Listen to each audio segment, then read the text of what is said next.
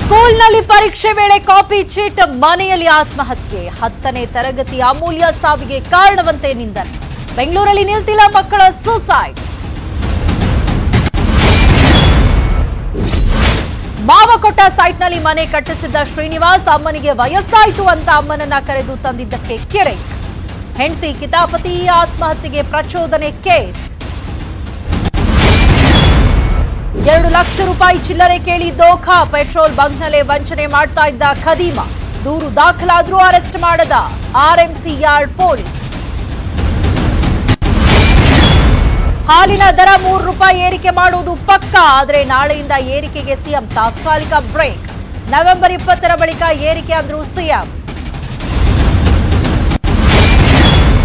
ಬೆಂಗಳೂರಿಗೆ ಬಂದಿದೆ masala dosa printing machine ಅಕ್ಕಿ ಹಿಟ್ಟು ಹಾಕಿ ಬಟನ್ ಪ್ರೆಸ್ ಮಾಡಿದ್ರೆ ದೋಸೆ ರೆಡ್ ಹೋಟೆಲ್ಗೆ ಬದಲು ಮನೆಯಲ್ಲೇ ಮಾಡಿ ತಿನ್ನಿ